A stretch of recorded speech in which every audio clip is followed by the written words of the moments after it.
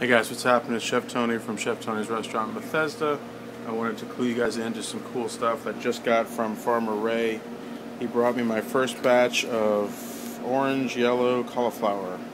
I guess he called it orange, it's kind of orangey yellow, but very cool.